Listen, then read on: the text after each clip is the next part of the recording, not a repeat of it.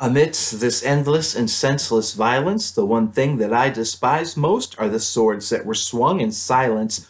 For when futile becomes resistance, the bloody few who are left look to us for some assistance. But it's by our weapons that their blood is spilled. When you're wiping out poverty, sometimes it's just cheaper to kill. So we justify we need a place for our new submarine base. Since our economy is tanking, why let good weapons go to waste? Sell them to Indonesia and everybody wins, at least those with a voice amplified by propaganda's spin.